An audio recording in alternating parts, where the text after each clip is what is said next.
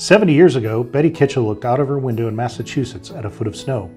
With three small children, she suggested to her husband, Sam, that they move to a warmer climate so he could start his building career.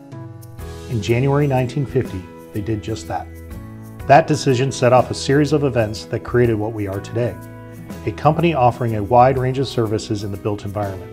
We can't be pegged to just one type of work, but because of our diversity, we are recognized for quality projects in many sectors and geographies. Employee owners who are dedicated to creativity and doing good work on our communities. Clients and partners who put their trust in us time and time again. Our blessings are numerous. As we look ahead to our 70th year, we're humbled when we consider all that has happened to get us where we are today. Thousands of groundbreakings, topping outs, grand openings, marriages, travels, births, and passings. Professional and personal milestones that bring us together and reinforce our purpose. Together, building value every day. Thank you for being part of our story. Merry Christmas and happy holidays from all of us at Kitchell, and wishing you a very prosperous 2020.